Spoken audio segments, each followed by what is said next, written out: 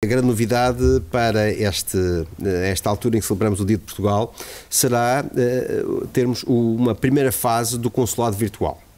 Ou seja, através de um smartphone, de um telefone ou de, ou de um computador, há determinados atos consulares que agora exigiam a presença física e que, além do Centro de Consular, do CAC, poderão ser feitos através desta plataforma que, através, que na, com a internet, que dá esta, esta proximidade, esta proximidade, que em qualquer parte do mundo, a qualquer hora do dia eh, e em qualquer dia do ano, as pessoas poderão aceder eh, a serviços serviços eh, consulares.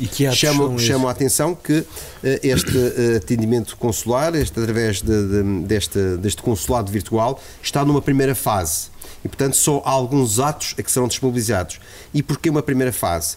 Porque este projeto estava para 2026.